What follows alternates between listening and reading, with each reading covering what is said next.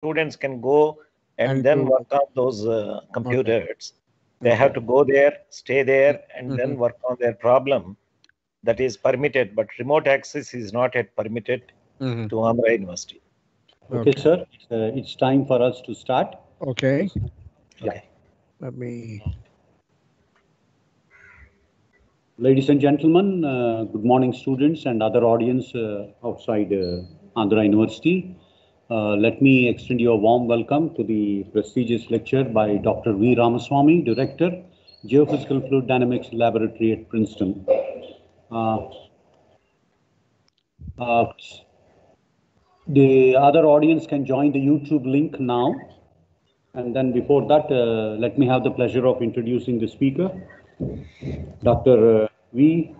Venkatachalam Ramaswamy uh, is the fourth director of the NOAA's Geophysical Fluid Dynamics Laboratory, and he became its director in 2009. Uh, Ram was named the acting director of the laboratory in 2007. Previously, he served as leader of the atmospheric physics and chemistry group and senior scientist after joining the GFDL research staff in 1987. Under his leadership, a new era in supercomputing was launched at the GFDL. Significantly, uh, it enhanced the computer power and has enabled higher resolution and greater complexity in the lab's climate models. Uh, the GFDL now routinely runs experiments using very high resolution global climate models capable of revealing regional details. The lab's new Earth system models simulate the interaction of biogeochemical cycles, including human influences, with the climate system. Future projections from these models produce a level of detail and realism not previously possible. Since 1992, Dr. Ramaswamy has been a lead author or coordinating lead author for each of the assessment reports for the Intergovernment Panel for Climate Change, for which, along with uh, uh, the former Vice President of the US, Al Gore, they have been awarded the IPCC's uh, Nobel Prize. He has continued to have a leading role in the Global Change Research Program and served on the Joint Scientific Committee, including as Vice Chair of the World Climate Research Program. Dr. Ramaswamy is Fellow of the American Geophysical Union and also the Fellow of the American Meteorological Society, and he has received the World Meteorological Organization Norbert Gerbier Award three times. Dr. Ramaswamy has also received numerous other awards, including the Department of Commerce Gold Medal twice and the Presidential Rank Award. Dr. V. Ramaswamy's research career has focused on improving our understanding of atmospheric physics and the roles of natural and human influenced factors driving climate change by developing and using the state of the art climate models. The published research includes over 150 papers in standard refereed journals.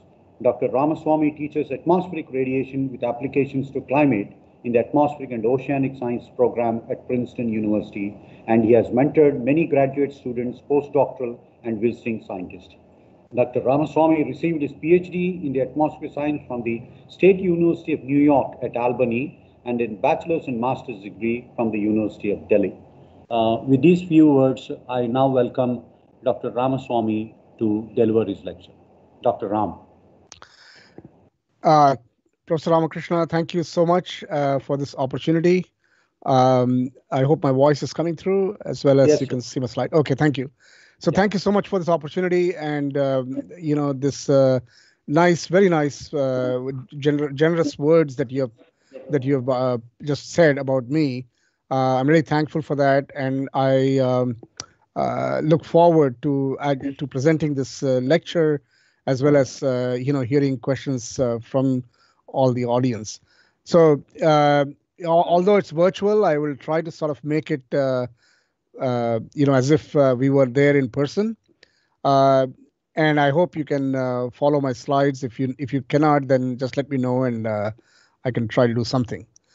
So first of all, greetings from uh, GFDL in Princeton. Uh, very happy to be here. And what I uh, chose to talk about is uh, modeling and understanding of the global climate system uh, with some examples from uh, various uh, categories, but in general, talking about from past to future. So when we talk about the Earth system, uh, what we are looking at is a system like this, where, of course, you know, in a schematic sense, you have the atmosphere, you have uh, land and uh, you have topography, including mountains, you have oceans, and then you have things happening in the oceans like ocean circulation, biogeochemistry, uh, upwelling, uh, and exchange of carbon. And then you have the land surface, uh, including coastal regions. And then, of course, you have all the uh, pollute, all the uh, em- emissions occurring, uh, both in the form of gases and particulates. And then you have the cryosphere also shown sort of in a small section here, uh, the ice sheets. And uh, what, of course, we are trying to understand in terms of the Earth system is the changes and the variability that occur there. That's kind of what the um, what the principal um, uh, quest is in terms of modeling it. In, and, in, and when I say modeling, I mean the mathematical modeling using equations. So some of the things that we have actually been able to do uh, in the recent uh, decade, over the recent decade, and particularly the last five, six years, is actually simulations involving all these things that, that are depicted here. Uh, clouds in the atmosphere using very high resolution models. Uh, I'm going to show some other results from that. Uh, transport of pollu- uh, aerosols across great distances, and this is actually a dust storm that arose uh, in June, and it started in the western part of the U.S. and then traveled all the way across, and it could be tracked by satellites, and the models could also simulate that. And then uh, atmosphere-ocean interactions uh, involving, for example, El Nino, La Ninas, uh, and doing it at high resolution, both the atmosphere and the ocean, in order to capture the effect of eddies. Then you have the land-atmosphere interactions, the effect of uh, both albedo and roughness on the circulation, and in turn, the effect of circulation on the land. Then coastal systems is actually Chesapeake Bay, uh, where we are performing model studies for salinity, oxygen, and temperature in the in these bay areas, which are very um, highly rich in nutrients, and therefore there are a lot of critters and marine ecosystems that are very, very alive there. And then eddies in the ocean, I already sort of mentioned this, trying to capture them with very high resolution ocean models, sorry. And then marine ecosystems uh, in the ocean, really what's happening in terms of the living uh, marine species that are there. So let me first maybe dwell on the modeling essentials. What what do we cons- what do we kind of take as a fundamental thing in terms Yeah. of mathematical modeling? Yeah, Yes. excuse me, Ramaswamy, Yes, uh, yes. Uploaded the slides? Uh, I'm sorry? only- Have you uploaded the slide, first slide? Because I'm- I'm, I'm only seeing a combination of slides. Uh, can you see the? I, I didn't upload the slide. I mean, I have the slides, Yeah. but uh, but can you see the slide, or you're not seeing the slide? I'm not seeing the slide. I'm, I'm seeing uh, uh, the complete uh, mosaic of the slides. No, no, right now. Do you see it now? Oh, not yet, not yet. Can, can you go to that box uh, with the square with an arrow there? And then Yeah, It's it, it is. It says tell me it's sharing. Yeah. Um, but now it now it should stop sharing. Hmm? So Yeah. are you Can you- saying that? Okay, let Yeah. me. Let me Uh, yeah, only all the mosaic I'm, I'm able to see. I'm not seeing the individual slides. ah, Maybe- Okay, okay, but I, I am in the slide mode. Oh, okay, okay. I, I I am in the slide mode. Just click, just click on that, click on that. Um, okay, you're not. See, um, so so now you should see the mosaic of all the slides. Yes, yes, But Yeah. then I'm going to slideshow now. yes, yes. Is is that not showing? Is that, are you seeing the individual slide? No, not yet, not. Ah, Just, just, uh, uh, just to click on the cup there, the fourth one, the sorry, what one? I the um, fourth one, uh, I I can't. mean, uh, yeah. So where exactly your cursor is, where exactly you, cur- yeah, and then uh, screen show presenter view. no, no, no, no. Huh? Yeah, just say enable editing, enable editing at the top. Go Enable to the top, editing. go to the top, go to the top. Above the mosaic, you will see enable editing. Okay, let me. So in the slide, you mean? Yeah, because uh, above the mosaic of slides, uh, you have some enable Yeah, yeah. Okay, let me let me see. Okay. Um, hmm. Now I've lost that mode. Let me let me sort of go back to. Okay, so you're saying enable editing here. Yeah, yes. ఎలా Uh, చేయాలి Yeah, you, you, I, yes. Yeah, now. you see, nah, okay, let me go back. uh, you put share- Now you share, now you share. So I'm trying to share now. Yeah, Uh, okay, let me try this one. How about now? uh, not yet, not, Not yet. share tray, you say, open share tray. Yeah, so I'm in the slide mode, so that's why I'm a little surprised. Uh, share tray. Okay. O- Open your PPT first. Right. I opened it, right? Yeah. And Then- I'm, and Uh, then, Yeah, uh, keeping it as it is, you come to the open share tray and then click on that. So I'm not seeing the open share tray. Uh, this is the fourth one. After the mic, after the mic, you will see a small picture. See, I'm Uh, not, uh, I'm, I'm not seeing those things. I'm not seeing, Uh, really? uh, okay, let me see. So this is the share tray. So it say, so it says I'm already open. Yeah. So now I'm opening share tray. Yeah. and uh, let's see. So, can you see anything now? Can you see? Yes, yes, I, I could see some slides. You can see some slides. Okay. Let me. Yeah, then, then you go to the cup and then, ah, yes, now you got it. Yeah, Is that right? You can see Yes, the yes. slides. Ah. Yes. Okay. Good. I don't know why how, how it happened, but I hope this stays like that. Uh, so I guess you didn't see any of the slides. So let me go back to the beginning. Uh, yes, yeah, this is the first Okay. slide. Okay, so you can see this slide, which is the showing a schematic of the Yes, system, yes. coupled system. Okay, thank you. So sorry about that. Um, apologize.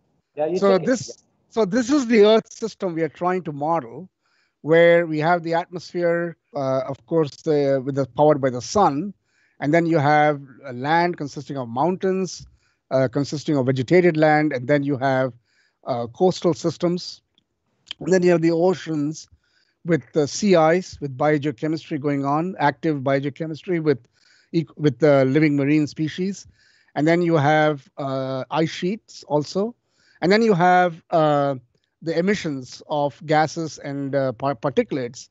And this is this is what the, sy- this is a system that we're trying to model and trying to represent mathematically, and it's a coupled system. So you have the atmosphere, ocean, biosphere, cryosphere interacting with each other, and the important thing to remember is they all have different time scales, and that's why it becomes a very rich nonlinear system.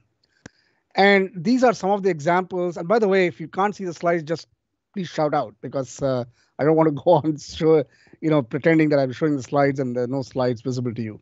So this is uh, what we are doing is an integrative modeling strategy, which means that we are taking the system as a coupled system and thereby capturing the weather, water, climate, and ecology. And these are actually some of the examples of simulations that we've done in the recent, uh, over the last five, six years with our models, uh, whether it be high resolution models simulating clouds, the transport of uh, aerosols and gases across continental scales. Uh, this is actually a, dust storm started from southwest US and tra- traveled across the entire US. And then the atmosphere ocean coupling involving the study of El Nino and La Nina, particularly the role of uh, eddies in the ocean exchanging fluxes with the atmosphere.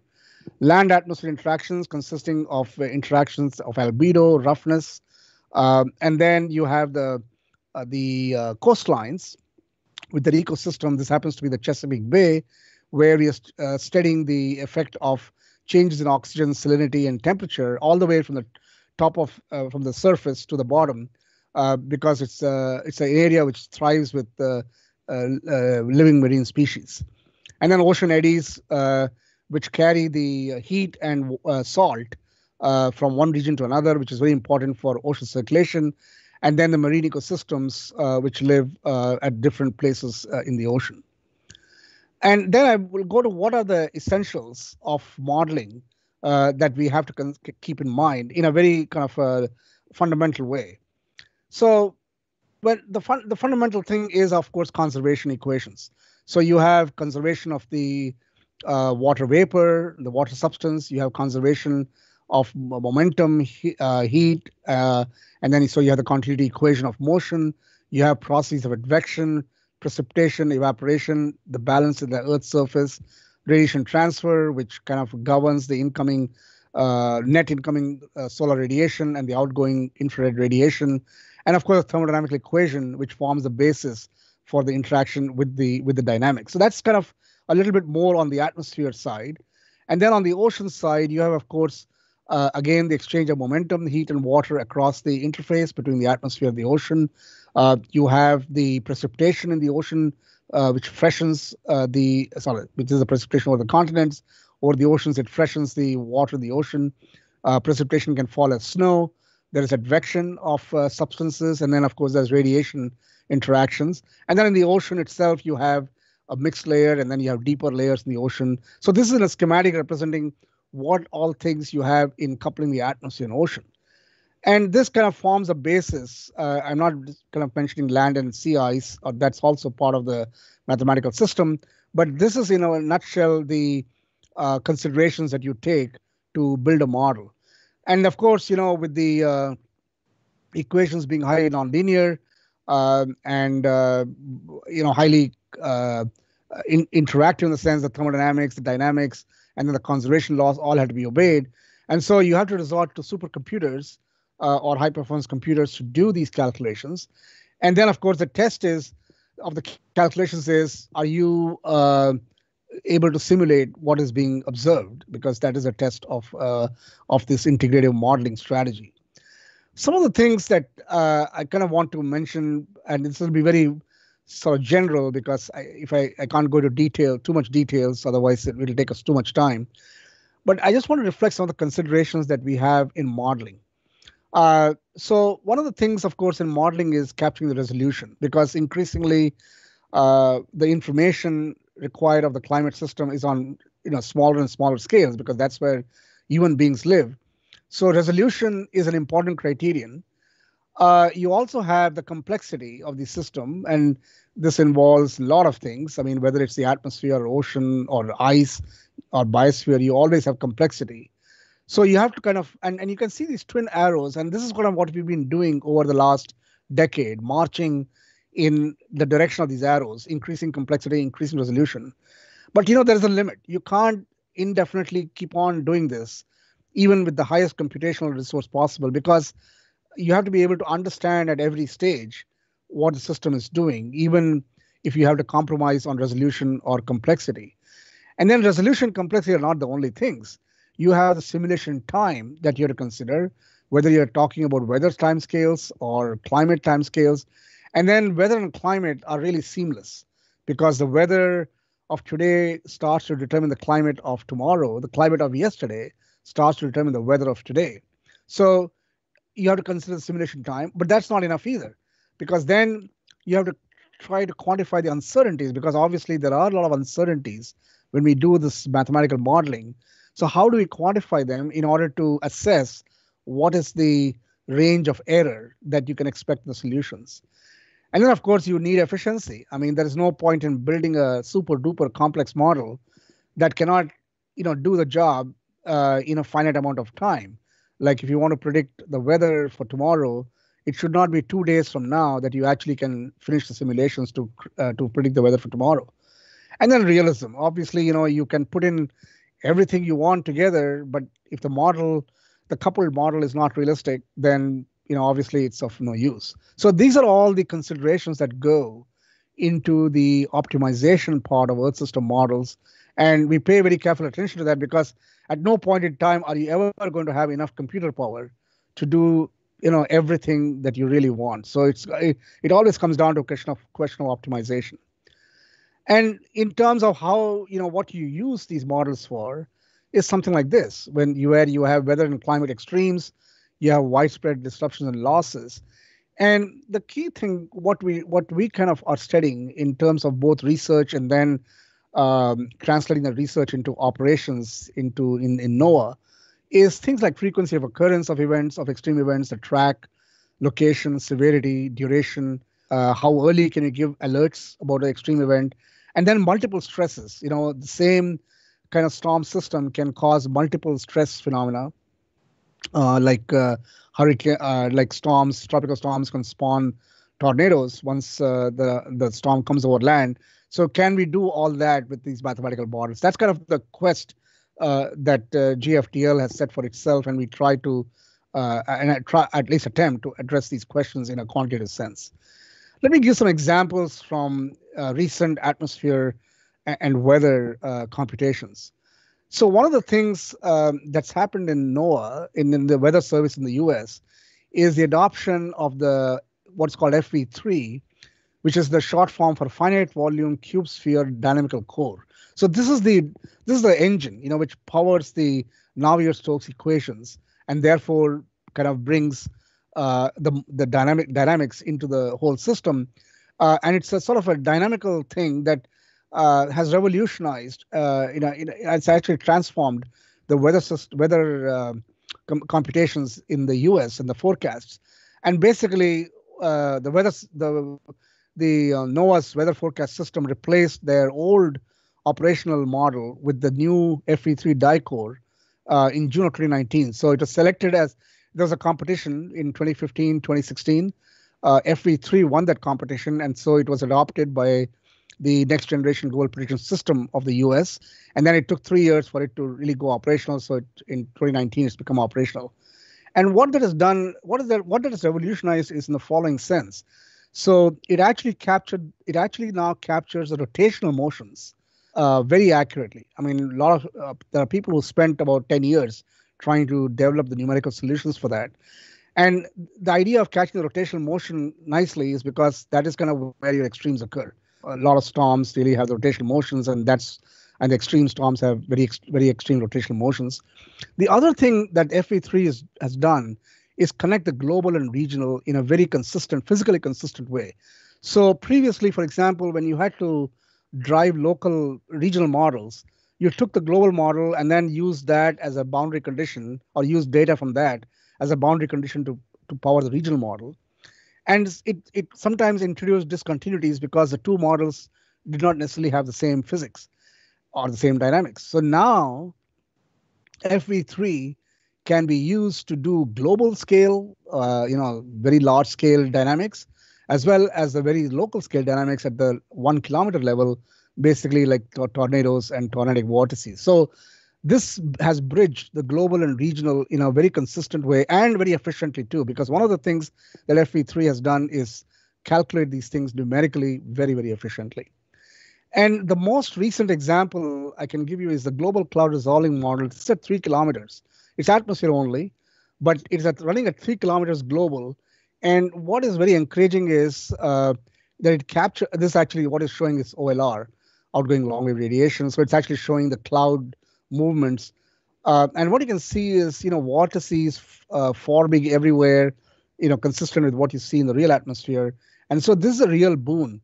Now, you know, talking of comput- computational limitations, we can run this only for 40 days right now at a time because it is so, you know, so computationally intensive.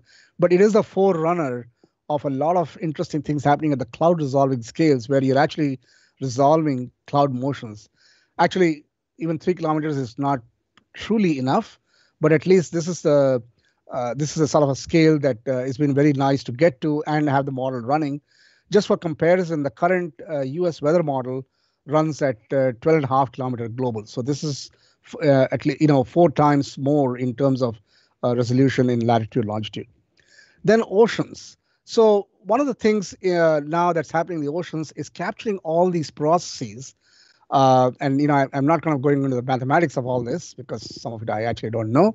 But uh, this is all the processes that we capture in the ocean, uh, ranging from surface shear, micro breaking, uh, wind stress, of course, Langmuir circulations, uh, eddy stirring dynamics due to mesoscale motions, uh, deep transports in the deep ocean, the internal mixing, and then tidal mixing, and then taking care of topography in the ocean. So these are all now captured in the ocean model and so we have a global ocean model. What I'm going to show next is a simulation from the regional ocean model. And you can, what you can see, this is of course the east coast of US, Florida is here, and then this is the Gulf. and you can see sort of the rich um, richness of the eddies uh, carrying, you know, um, uh, what this denoting is uh, water at different temperatures, and you can see it uh, carrying um, eddies, which is important for the equator to pole transport of uh, heat and salt. Uh, but this is very encouraging to us because, first of all, it does match the satellite images of chlorophyll, so you can see where the upwellings are in terms of nutrients.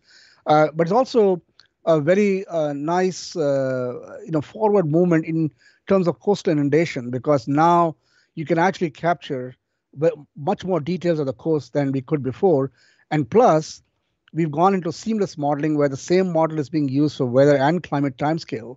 So you can actually look at sea level rise and then the synoptic storms riding on top of the sea level rise and how they influence uh, coastal properties.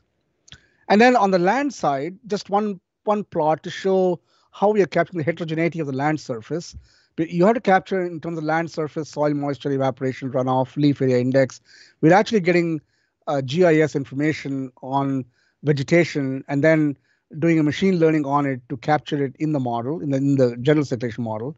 And we're also now able to capture things like uh, the slopes, which is very important when you start to do river runoff. You have you want to capture these slopes. So that's sort of another uh, another sort of a development that has occurred in recent uh, years where we've been able to put the land onto a really much more uh, finer focus and therefore capture more of its uh, heterogeneity. So now let me get get you get you some examples of what we've done with these models. And admittedly, these are going to be just examples, so uh, it, will be very short. But you know, one of the exciting things that's happened with our recent generation of models, this is the which we, we call fourth generation, atmospheric model four, climate model four, and earth system model four, and one of the things we've we've seen, and we're kind of going through different models here. This was a model, a CM2 AM2 was in about 2005. CM3 AM3 was about 2012, and CM4 AM4 is about 2019. And what you can see is a systematic reduction of biases. All models have biases, and our model is no exception.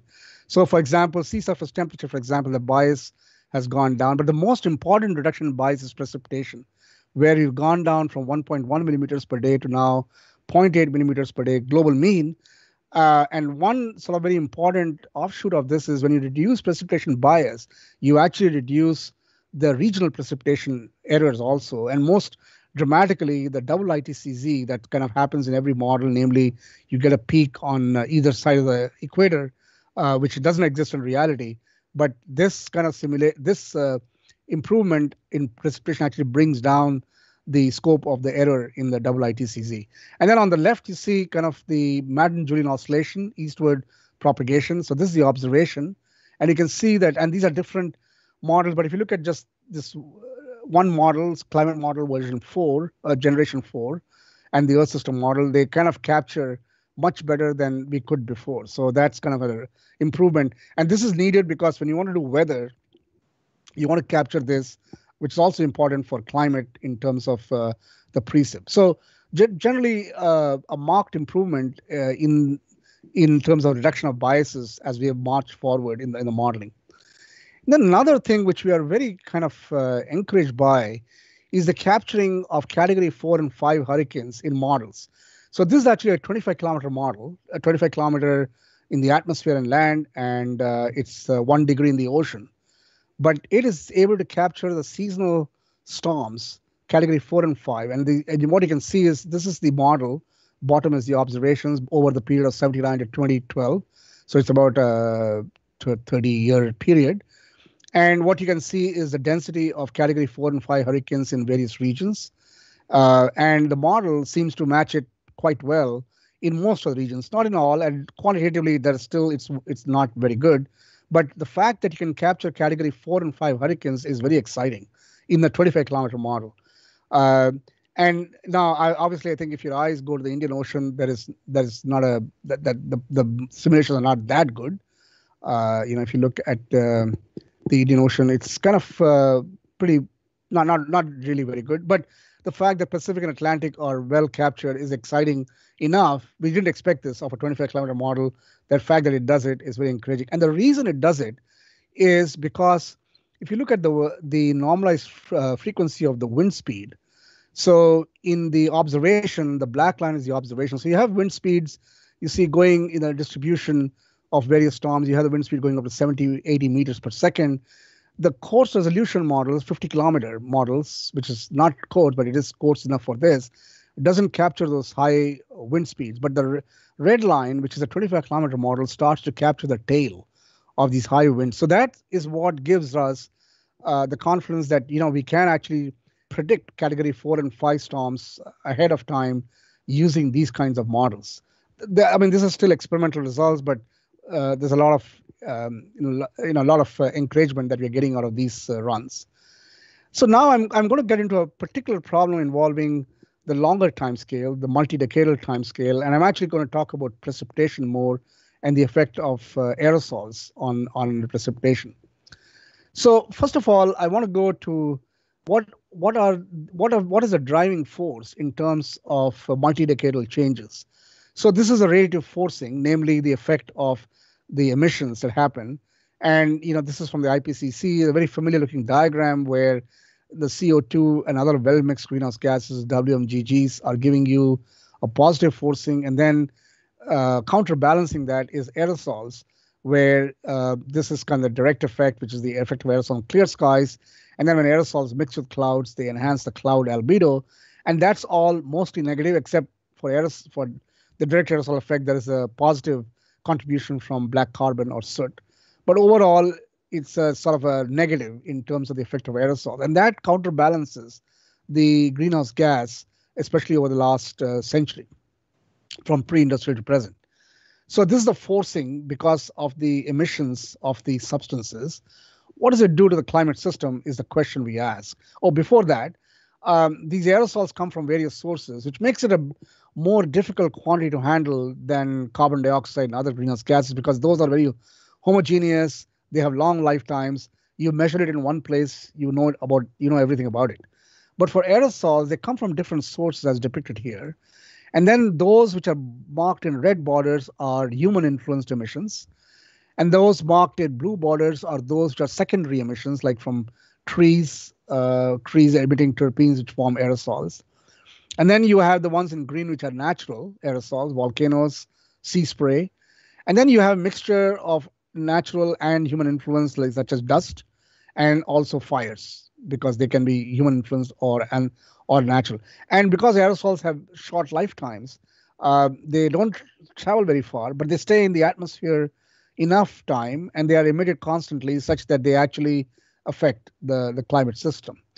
Now, uh, one of the things that uh, we always ask uh, is what is the uh, what is the what is kind of the effect of the aerosols in terms of affecting the radiation budget? And one example is from satellites, where if you look at the the uh, um, the dots and the circles, those are the seasonal cycle in various parts of the globe of aerosols. And what is this? What is plotted is optical depth, which is considered as a measure of the amount of aerosols. So you can see that the aerosols have a seasonal cycle everywhere uh, in every part of the globe, and that they are there in considerable uh, amounts, uh, enough to affect, as we'll see later, the solar radiation budget. And I won't go into the model because I'm going to talk about the model de- detail later. But you can see that if you look at the the the black the, the red line, which is our latest model, you can see that it captures the satellite data rather well, um, better than the previous model, which was a black line. So there is a confidence about the effect of aerosols being showing up in ob- showing up in observations and also showing up uh, in the model. So let me talk about the sensitivity of the radiative perturbations and precipitation response. So I'm going to go back to an experiment that we did long time ago, but it's kind of very interesting because it's very simple. Uh, we understood very well back then. Supposing that, uh, so one of the things that happens to aerosols is that, uh, you know, they are only in the northern hemisphere for the most part. The emissions are mostly in the northern hemisphere. They have a short lifetime, so they stay in the northern hemisphere. Greenhouse gases, on the other hand, have long lifetime, particularly CO2, so it goes into both hemispheres. So what you have is a forcing on the system that is global in nature for greenhouse gases, but very localized in the northern hemisphere for aerosols.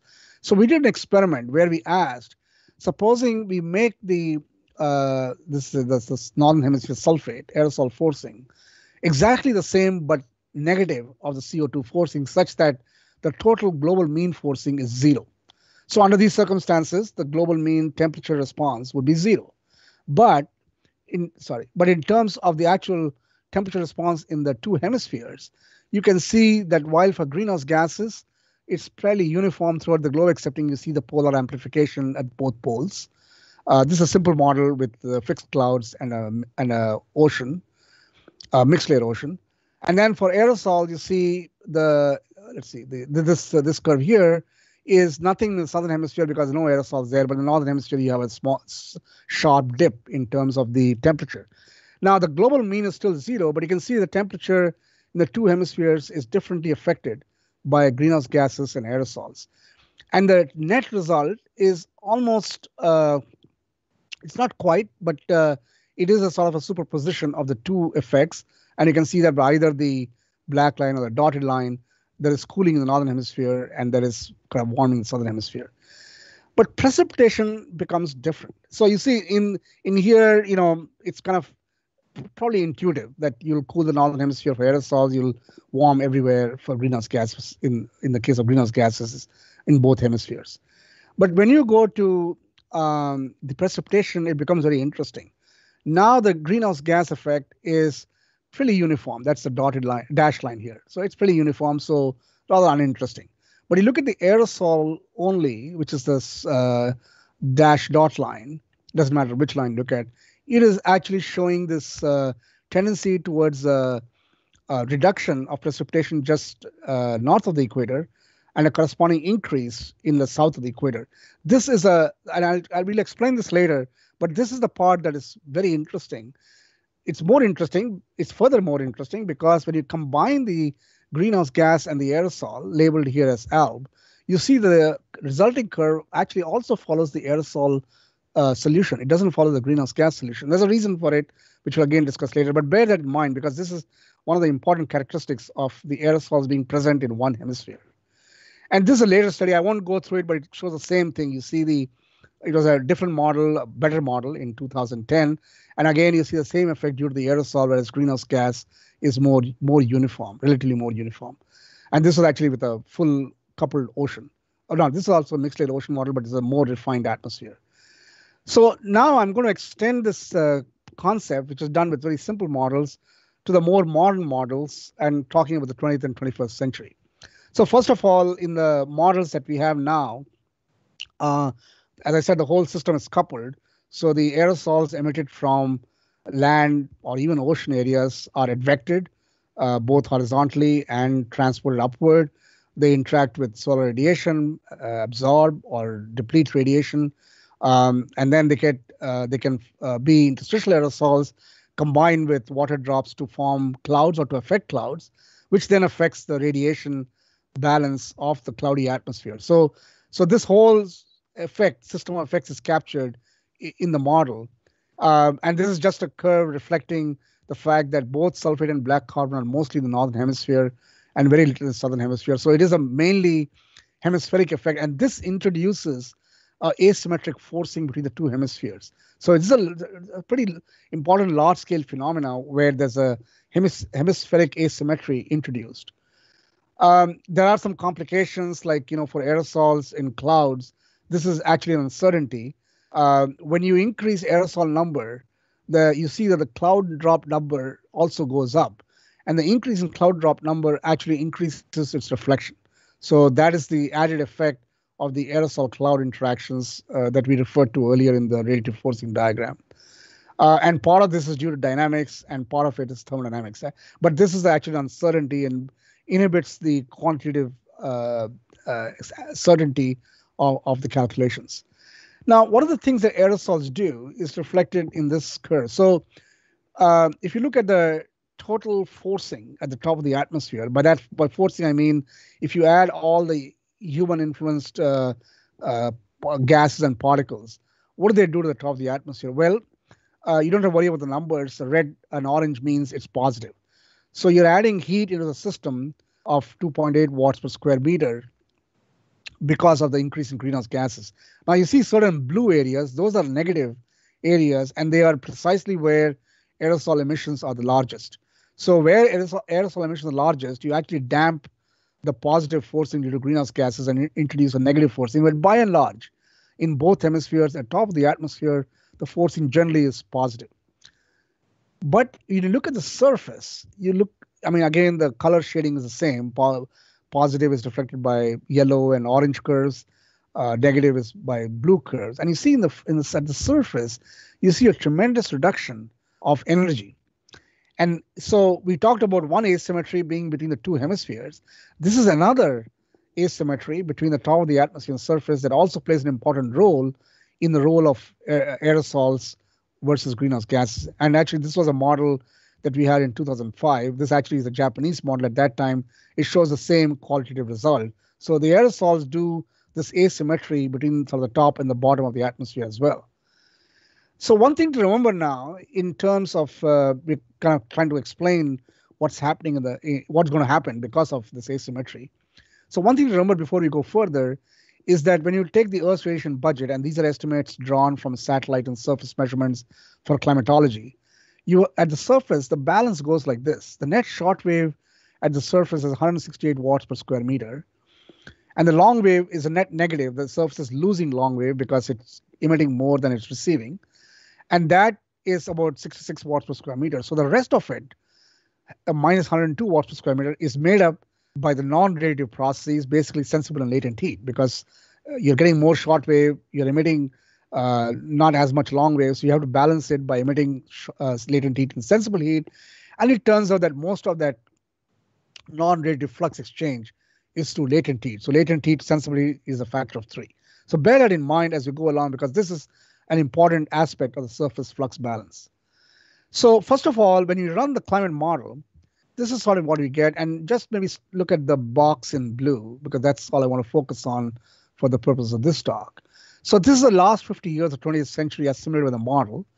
And if you run, so with a model, you know, you can ask the question of what if I had the climate determined only by greenhouse gases?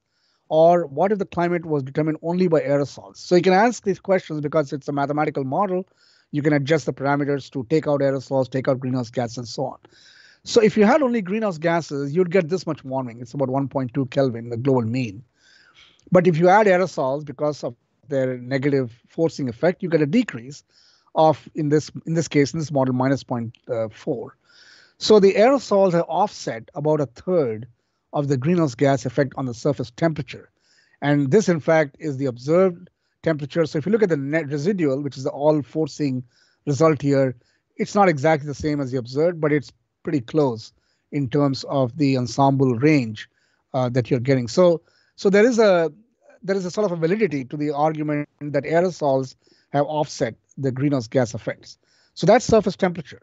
Now let's look at precipitation. Now, um, I would just ask you to focus on the top left panel, which is a global mean precipitation. And you see that the well-mixed greenhouse gas has increased precipitation, the aerosol has decreased precipitation. But you notice the size of the bars, they are almost canceling each other. So the aerosol effect has been disproportionately larger on the precipitation than it has been on the surface temperature. And the all forcing, which is the net result of uh, everything, is slightly negative in the case of this model run uh, and is kind of dominated by aerosol. If you look at the more regional aspects, you see much stronger effect of aerosols primarily because most of the aerosol effects in northern hemisphere are actually uh, over Asia. Uh, but it's not restricted to Asia because you look at Europe that also has a aerosol signal which is uh, negative. Um, and so that's kind of how precipitation is now. Now we want to understand this kind of why why is it like that, and the clue comes from looking at the surface uh, flux uh, change. So to in order in order to try to probe this further, look at maybe the bottom left first, panel first. So this is a simulation running with just well-mixed greenhouse gases. And the different components plotted here are surface balance, the net, net short wave, net long wave, uh, and then latent heat and sensible heat. So this is now the greenhouse gas case only. So greenhouse gases, as we've seen from the previous uh, you know plots, they increase precipitation. and, and they warm this they warm the atmosphere and surface so what does that warming do you have more long wave coming to the surface because you've increased uh, not only CO2 and other well-mixed greenhouse gas, but you increase water vapor as well. And water vapor is a strong greenhouse gas, so it emits more radiation to the surface. So you have an increase in the net long wave at the surface. So in order to balance that, the surface has to release more more heat, and it does so in the form of latent heat. So latent heat is negative, which means a loss from the surface, and so the surface is emitting latent heat, which of course then, as when it condenses, when the when the heating condenses to form clouds and precipitates, that's what gives rise to an increase in precipitation. So that explains in the greenhouse gas case why you get the increase in precipitation because of this balance that latent heat has to evaporate more from the surface. In the case of the aerosol, we already saw that shortwave flux to the surface would decrease because the aerosols are depleting the radiation from the sun by both reflecting and absorbing. Now, in this case, the latent heat again comes into the balance picture, but now because the depletion of the short radiation surface, there tends to be less evaporation. And so the surface actually uh, gains heat because it's uh, not emitting as much latent heat. There's not so much evaporation going on. So that happens in the aerosol, sorry, in the aerosol case. And so now we look at all fours, which is a combination of the two, you see all these effects. You see the net short wave decreasing, you see the net long wave increasing, and in the case of this model, latent heat, you know, ref reflects that balance. Um, and and so that kind of what then causes a reduction in precipitation governed by the aerosol, more governed by the aerosol uh, than well, it compensates the greenhouse gas almost completely.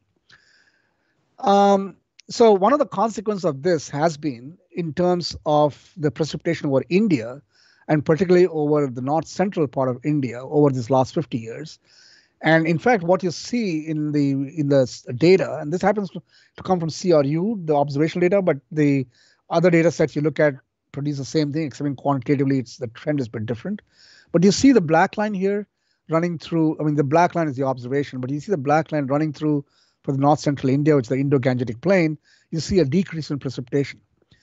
Now, one of the consequences is that if you run the model with just greenhouse gases, which is the purple line here, you will get an increase. So increase in greenhouse gases alone would just produce an increase in precipitation over this region. But that, that's not what happened. So the only way you can explain this decrease is to invoke aerosols. And that's kind of what is done by the green curve. The green curve is the tropospheric aerosol. You can see how it's a decrease. And there's actually a small contribution from natural aerosol, which comes from volcanoes. Uh, over this whole entire period, volcanoes have been have been responsible for affecting some of the Earth's climate. So the total all forcing, which is the red line here, uh, shows a decrease, which um, you know as shows a decrease and is qualitatively reasonably similar to the trend.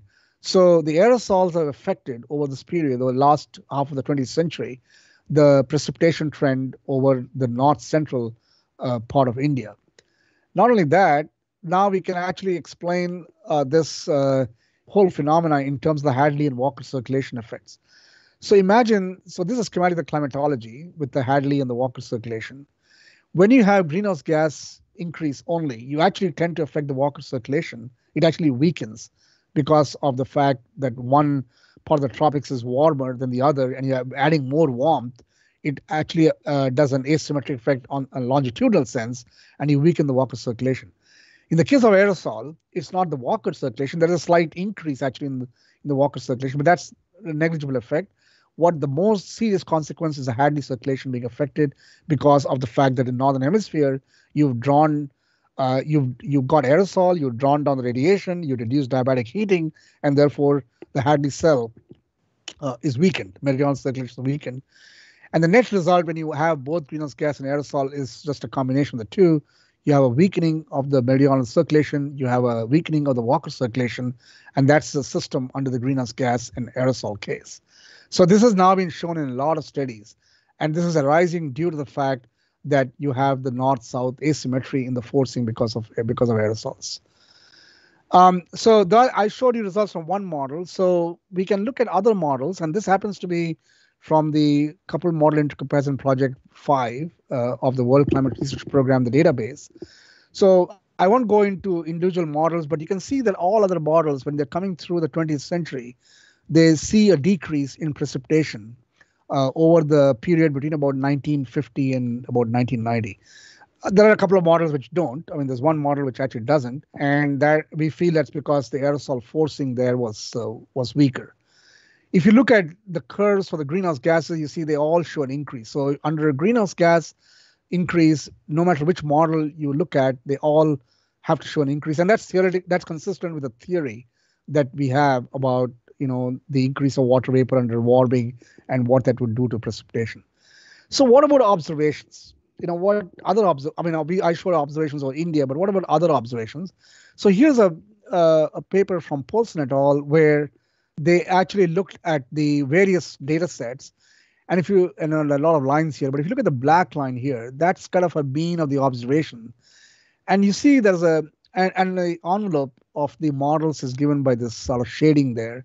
So there's a lot of noise. Precipitation carries a lot of noise, but you can see that over these 50 years, um, extending to about 1990s, there is actually a hint of, not a hint, more than a hint of a decrease in precipitation, the observations.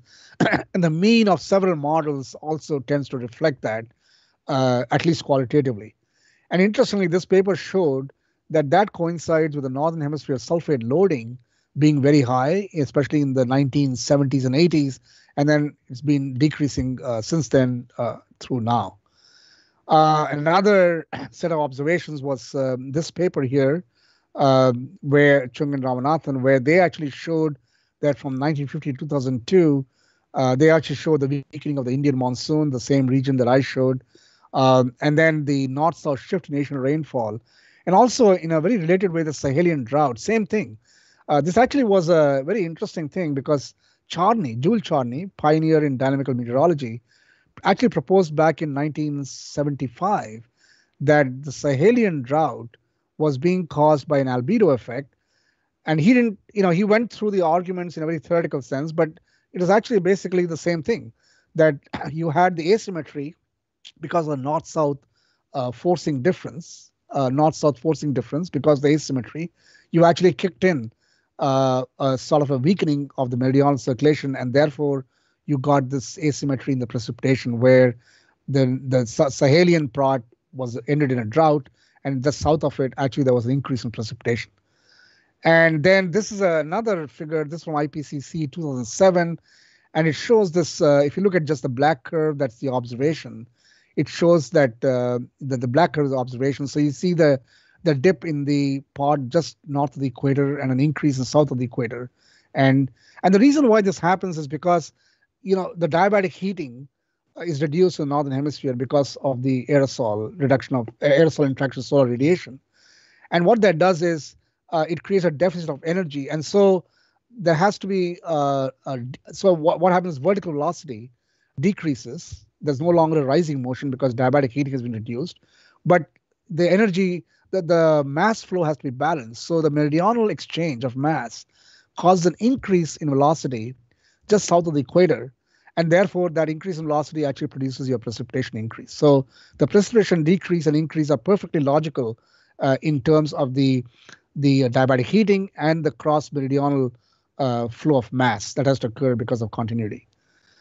Um, finally, I want to kind of show this is sort of a recent result.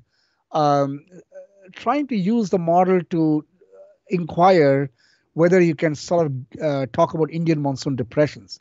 So, um, you know, this is the ERA analysis of the Indian monsoon depressions, and and what you're seeing is the uh, shading is a long-term mean of the monsoon depression averaged over. This is actually over 40 years, and the uh, blue dots are depressions, uh, genesis points of monsoon depression to the north of 20 degrees north, and the green are to the south of 20 degrees north. And actually, the results I showed you from the model so far actually doesn't do a great job in terms of monsoon depression. You see, you know, it, it kind of gets to the right area, but you know, the dots are not that much in density as they are in the ERA analysis. So this was a model in 2012, and most of the results I showed were from that model. But the latest model, which is 2019, which kind of we are still analyzing, actually seems to nail the analysis uh, absolutely spectacularly. I mean, I we can't explain why this happens. It might be fortuitous, but it is interesting that you know both the area as well as the kind of lineup of the dots is very very nice. I mean, and I and you know this is something we are still exploring, but this is sort of I thought uh, something that should interest uh, especially uh, the audience uh, in this area because uh, it's uh, it's kind of very significant for this area. All right. Okay. So I kind of didn't mention this as I was going along too much, but there are uncertainties. And what are the uncertainties? So mainly the uncertainties have to do with aerosols because you know we understand the greenhouse gas forcing CO2 forcing very very well. Uh, there's maybe only a 10%, 15% uncertainty in terms of the forcing. But aerosols, because of diversity of the sources, that short lifetimes, uh, create uncertainties. And one of the uncertainty, one of the sort of really important uncertainties they create is the interaction with clouds. Clouds are inherently, as you all know, clouds are inherently very difficult entities to deal with, and there are all sorts of clouds. So just maybe looking at both the low clouds, shallow clouds, and the convective clouds, and you see kind of various processes that happen: new particle production, scavenging, uh, droplet coalescence, uh, activation. These there are still theoretical gaps in these processes such that they all affect the net uncertainty of what aerosol interaction with cloud does. And furthermore, all this occurs on a spatial scale, as listed here, about 50 kilometers or 100 kilometers. So within 50 kilometers, all this is happening. For a model to capture this accurately is a really challenging thing. And what we do is we parameterize these processes, and there are a lot of uncertainties that creep in uh, because of that. Even more than this is the ice cloud aspect. So those are kind of a little bit water and convective clouds, but ice clouds are mixed phase clouds where the nucleation can happen with all sorts of uh, effluents coming from the surface with its biomass burning, biological emissions, urban industrial emissions. And how do they get caught up in ice clouds? How do they form ice clouds? What are the processes of nucleation? And then what happens to the ice clouds? I mean, when they get glaciated, uh, rain, come down as precipitation in the form of ice or snow.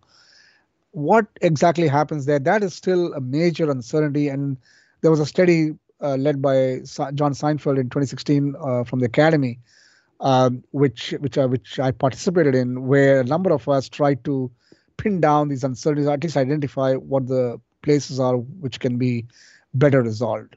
But anyway, these are uncertainties. All right, so I talked about 20th century, and I'll conclude with uh, a little bit of speculation about 21st century, which of course already underway. So in 21st century, in terms of the projections of what will happen, there are two things which are definitely going to happen. Well mixed greenhouse gas will continue to increase. I mean, there are no easy mitigation measures, so they're going to continue to increase. But aerosol is going to see a decrease. In fact, we're already seeing that over North America and Europe and even parts of Asia.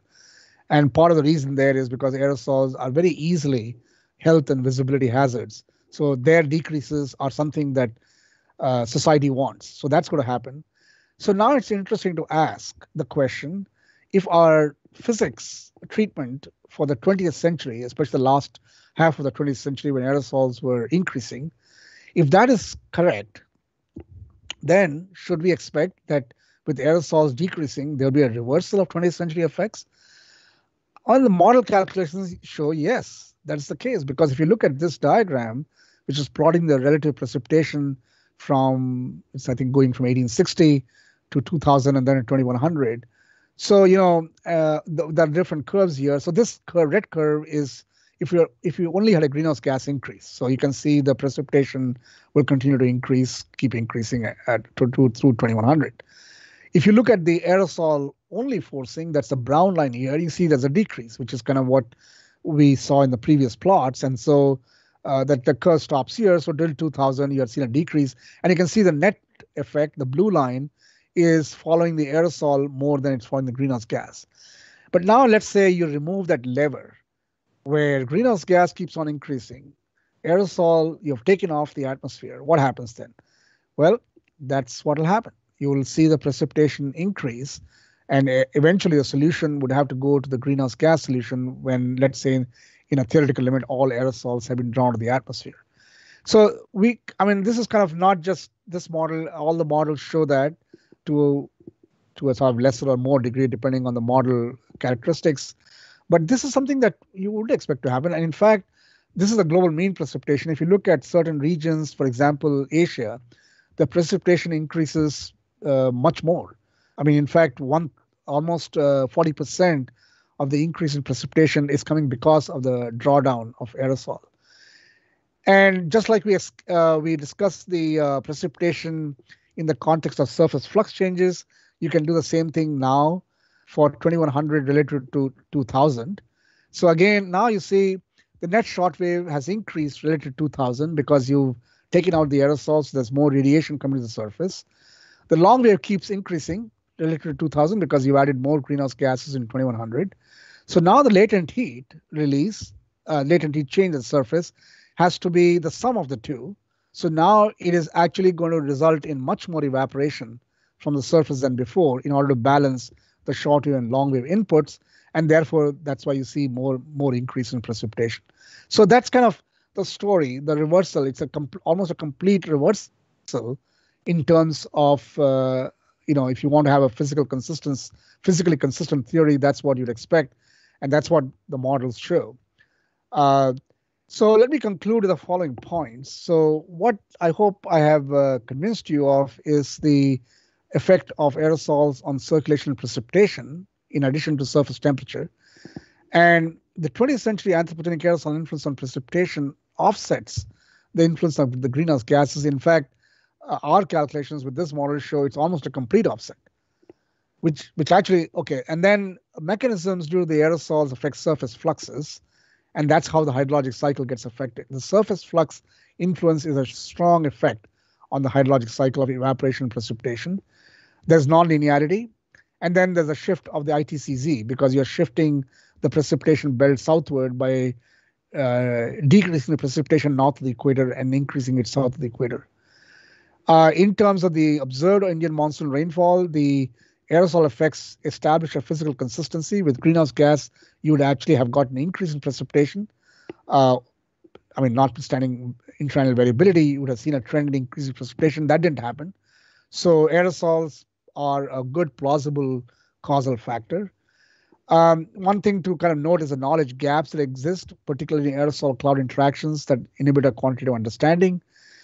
And then 21st century, you know, this would be very interesting to see whether if if the aerosols are drawn down, whether corresponding the precipitation actually uh, goes up. And Asia would see probably the most difference because Asia has seen the most decrease in, in terms of precipitation. So with that, I would like to thank you for your attention and uh, very much uh, enjoyed this opportunity to you know talk about these uh, subjects to you and very much thank you for the in, in invitation to give this lecture so i will end there i'll be very happy to take uh, questions thank you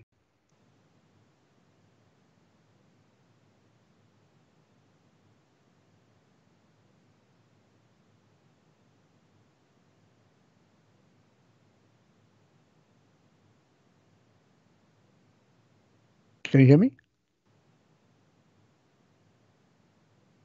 Hello? Okay, are you able to hear me? Yes, I, I can hear you. Right. Yeah, Thank yeah, you. Yeah, there, there is a question from a student, uh, Dr. Ramaswamy. Okay. Uh, that uh, he says that urbanization is increasing at an alarming rate throughout the globe. Uh, can it modulate the dynamics or the thermodynamics uh, through the changes in energy fluxes and how are how can they be incorporated in numerical weather prediction models oh good that's a good question uh, let me take it i think it's in two parts the first part urbanization yes would affect the thermodynamic and dynamic fluxes certainly. And in fact uh, we already seeing uh, effects on uh, evaporation precipitation in numerous parts of the world where urbanization has increased uh, significantly. Uh, so yeah, what, what I mean, generally, you know, what whatever happens to the land surface, whether it's urbanization, desertification, uh, afforestation, they all affect the exchange of fluxes, especially latent and sensible heat between the surface and the atmosphere. So yes, the answer is urbanization would modify it. Now, in terms of global effects, um, probably you know it's going to be more manifest regionally rather than being manifest globally, only because you know the area of the land is, is smaller. Uh, so urbanization would definitely affect, but it would be kind of confined to probably regional levels. On your second question, uh, sorry, I forgot the second question. Um, can you just repeat the second part of the question? Yeah, can they be incorporated in Ah. numerical prediction model? Yeah, I think so. The way so we are actually models are beginning to incorporate urban areas, very crudely perhaps, because you know the urban areas are represented basically uh, in the following sense: they are represented by canyons uh, and towers. So if you can imagine, towers representing you know buildings, canyons representing street level, and then there are variations of that, including vegetation. So that's how models are incorporating it. But it is actually very effective because, see, for uh, what you need from urbanization uh, in terms of thinking about what what should you incorporate, it is the it is a albedo, the the reflectivity of the surface, and the roughness. So that is why, for example, creating towers and canyons gives you some sense of uh, of a of a simulation of roughness of the surface, and then the albedo is like you know whether the the buildings are more gray or black or white, uh, and, and and so there there are incorporations of this in models. Um, the the one problem is, of course, when you you can put anything in a model, but you know how do you test it? Uh, you have to kind of uh, do observations and then you have to test it. Those are somewhat lacking right now. I mean, even in urban areas which have started to take observations, the length, the observation time series is not not all that great, um, and so it's hard to be, you know, very. It's hard to kind of be very uh, convincing about the model's ability to capture uh, these effects. They're coming along, but I think it's going to take some time. Also, one more thing that models do capture is the exchange of carbon. You know, in in buildings and you know in cities, uh, how is the carbon exchange between the between the surface consisting of the city and the atmosphere? That too is being actually actually captured, uh, and also aerosol uh, exchange. But the processes are recognized; they are beginning to get captured, but we still lack uh, enough of a time series and enough of uh, observations in various places to you know to get at the meat of the problem. You know can can when we assert that it's being done all right. I think the answer is still a little bit diffuse as to whether it's being done all right. Thanks for the question. Yeah, uh, thank you very much. Uh, Another question from Professor Bhaskar Rao. Um, The Indian summer monsoon rainfall of uh, this year, that is 2020, has been very good, perhaps more than normal, and good spatial distribution and higher than normal rainfall over most of the regions. Uh, Could it be attributed to the lowering of aerosols all over the globe in general and in India in particular, or is it due to COVID-related lockdown? Uh, um, no, actually, actually, so the precipitation actually has been increasing since the low point in the 80s and 90s. The precipitation over the last 20 years in a, in a large part of the globe is actually increasing. Uh, but that has to be tempered with the observation that some of the extreme precipitation in some areas um, has been going either way. So areas which used to get precip anyway are getting more. Areas which are getting less precip are getting less. So less is getting less, more is getting more. And those are the extremes. But in a general sense, large scale mean is increasing. Whether that's due to you know aerosol drawdown still is I mean, I think 20 years is not enough of the record to kind of attribute it to aerosol. So I think I would say that uh, it is pro- probably possible. It's not increasing. I mean, I mean the precipitation. Sorry, the precipitation is not continuing to decrease. So that is one hint that maybe it's the aerosol effects, and to some extent, land surface effects as well in the northern hemisphere with a more aridity, more desertification, which would do the same thing that aerosols do. Uh, I mean, Charney showed this uh, in 1975 paper that you can have the same thing. So, so it, that can happen. Now, uh, again, I forgot the second part of the question. I got so wrapped up in the first part. What is the second part of the question, Dr. Bhaskar Rao's question? Is it due to COVID-related? uh, Ah, lockdown? I yeah, I I don't think so. I think the COVID effects uh, have not. I don't think we realize. We do see.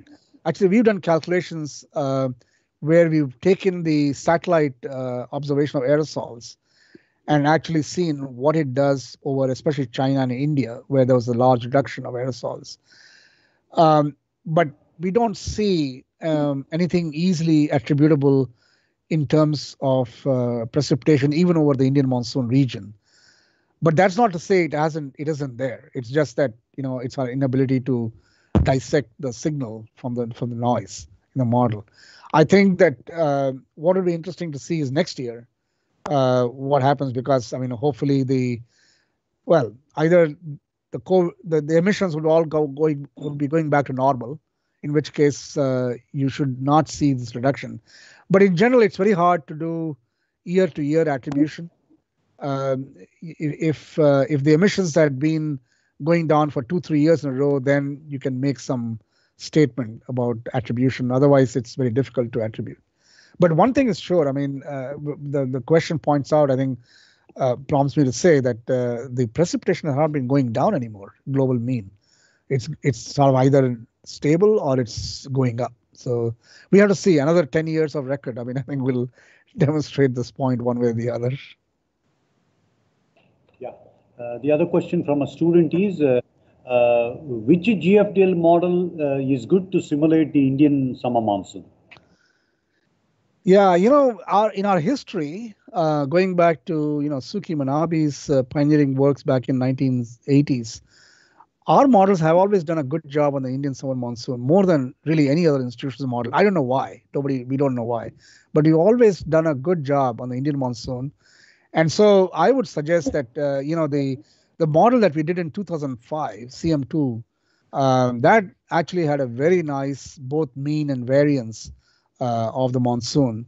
Um, and the current model, uh, I think if you, I would suggest that you know look at the, uh, these publicly available data sets from uh, the North American Multi-Model Ensemble NMME, and one of the GFDL models uh, is run there. It's called FLOR, F-L-O-R, and I think you should look at the statistics on the model. You'll see. Um, I mean, there's a for year-to-year variability, but you, and I think they have data for the last six years uh, take a look at that. I think you, you, might you might sort of be impressed by how well it simulates the monsoon, uh, even including the year-to-year variability, uh, and that's kind of publicly available data set. So that would be sort of a good model to explore. Uh, I think there's statistics statistics in the monsoon. Yeah, uh, one question from Dr. Naidu. Uh, are the aerosols playing a role in creating inversions in the monsoon season over the Arabian Sea and its surroundings. Yes, uh, and that's due to the absorbing aerosol. The absorbing aerosols, you know, absorb the energy in the atmosphere, and in the uh, Arabian Sea as well as along the coastline, they actually create a stability, and that creates the inversion.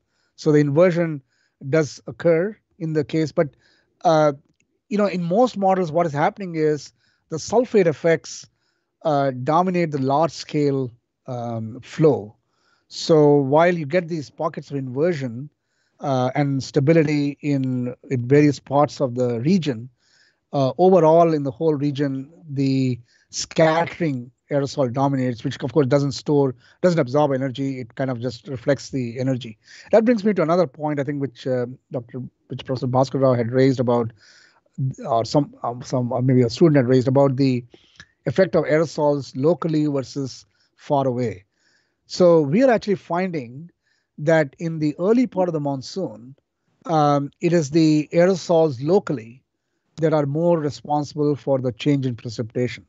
But as you come towards July, August, uh, sorry, not July, August, September period, you actually have remote aerosols starting to exert a control through their control on the large scale flow. So it's a mixed bag. It's not just local aerosols all the time. It depends on kind of which part of the season in the monsoon you're looking at. Uh, another question is uh, uh, this is from Ranjit Sarangi. Uh, he has a query on the trend and height of the aerosol vertical layer variation and its climatology. Uh, the vertical variation. Um, yeah. So, so you know, most of the, so the aerosols that cause the most climatic effect are really effective in the bound effective in the boundary layer. So you know, two to three kilometers um, is kind of where you know the aerosols generally taper off. The ones that cause the most climatic effect, um, and also because of interaction with low clouds. but you can have uh, aerosols. I mean, it has been found in observations, of course, over the Indian region that aerosols can invigorate clouds. So basically, you know, you have aerosols, um, you know, in updrafts, and if the cloud doesn't condense at the lower altitudes, and then it's pumped up to very high altitudes, and then it forms ice clouds. And so, in locally, you can have a lot of those effects occurring in or on top of the generally, you know, large scale effects. So you can have a lot of local effects. So, so the vertical and, and there, you know, vertical profile of aerosols does matter because where are the aerosols? Are they really at two kilometers? Can you find them at five kilometers?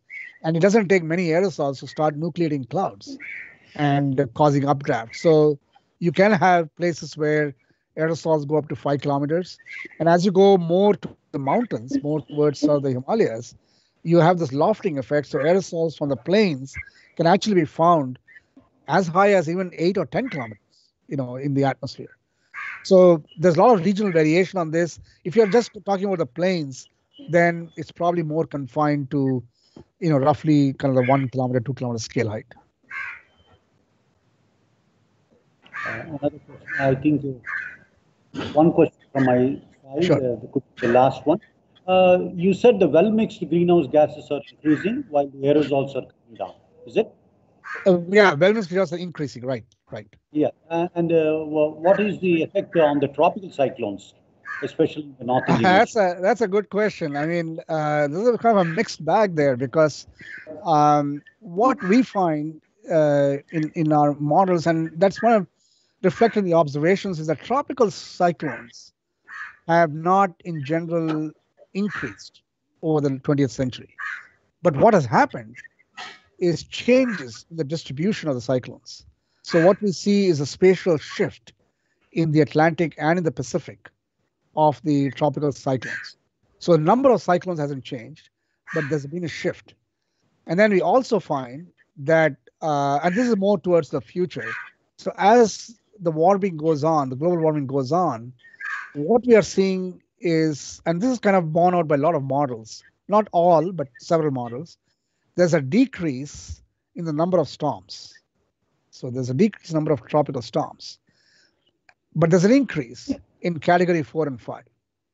So it's like when the storms form, they really become category four and five, but the total number of storms actually is decreased. And uh, what the reason for that is this competition between the heating of the sea surface and the gradient between the uh, tropical sea surface near the e- uh, equator and the mid latitude sea surface temperature. That creates a wind shear. So, what is happening in the warming is the wind shear effects are damping down the smaller storms, Okay. um, but damping down the nu- number of storms. But once the uh, once the sea surface temperature and the wind shear kind of lock up, you know, in a in a sort of a uh, in a sense which is accelerating the tendency to do the storm, then you're getting this category four and five. But you know, this is still uh, very much research in progress. I, I think that there's a lot of uncertainty about this, and also this is just talking about large scale. There are now theories. I think particularly there's one for the Arabian Sea where there's been a change in the storms over the last uh, few decades, uh, the last two or three decades, and some of it is being attributed to just aerosol microphysics. That because of aerosols, you actually have some microphysical effects happening in clouds, and that that is changing the number of storms that form in the Arabian Sea. Uh, but Arabian Sea, I'm less con- I'm less sure about, you know, in terms of the processes.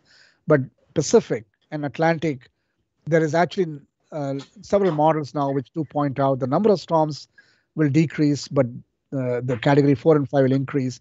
And then over the last hundred years, there has been no measurable increase in the number of storms, but the spatial distribution has shifted. And there are some recent papers which actually suggest that uh, the storms are, uh, you know, lasting a longer time, and they are traveling more slowly. So the destructive effect is spread over a longer distance and over a longer period of time. Uh, that the why that is happens that is still not clear, although that's that's being observed now that uh, the rate of slowdown of मात्रे sir मात्र यदि breakfast न खा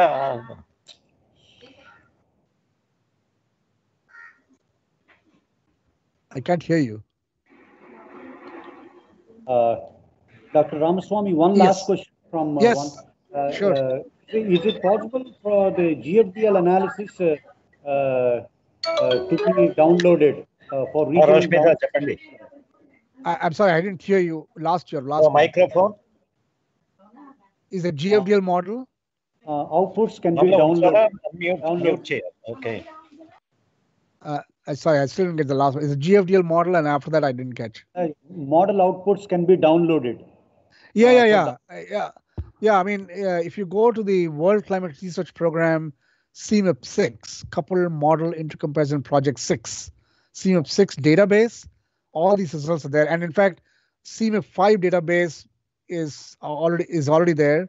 CMIP six database, which has just started, is all, also there. There are a lot of models that you can look at in the CMIP six database, uh, and all these models have all the results stored in terms of time series, etc., all the way from uh, pre-industrial, which is a 1860 to 2100. So uh, the, all these model results are there. Uh, Well, uh, thank you very much, uh, Dr. Ramaswamy Garu. uh, My pleasure. Lecture. And uh, joining me uh, is uh, my head of the department, Dr. C.V. Naidu, uh, uh, who will be proposing a, a formal vote of thanks. Dr. Naidu. Thank you. My my pleasure. Excellent lecture, sir. We are very grateful to you. Thank you so much. Thank you so much for the opportunity. Really enjoyed it. I, I wish I could have been there in person, but that's another time. Good morning to all. I thank all the researchers and students who attended the lecture entitled Modeling and Understanding the Global Climate System from Past to Future, delivered by Dr. V. Ramaswamy Garu, Director of NOAA's Geophysical Fluid Dynamics Laboratory. Dr. Ramaswamy Garu is the most prominent researcher and a legend in the scientific community in the world. His research career has focused on improving our understanding of atmospheric physics and the roles of natural and human influenced factors driving climate change by developing and using state of art of the climate models. Dear sir, as a renowned researcher, your expertise is of great value to the web series. We are very fortunate today to hear a very enlightening lecture. I should be thankful to you, sir, for giving us an inspiring lecture. Dear sir, there are some promising students and researchers in our Department of Meteorology and Oceanography. I am looking forward for your help in the development of our Department of Meteorology and Oceanography, Andhra University. Dear sir, you are welcome to our department whenever you are in India. Thank you, sir. Thank you all. Thank you very much. Thank you very much. It's been a pleasure, my pleasure, to talk to you all. Thank you. Thank you. Thanks to everyone. Yeah, thank you. Yeah, bye-bye. Bye-bye, sir. Bye-bye.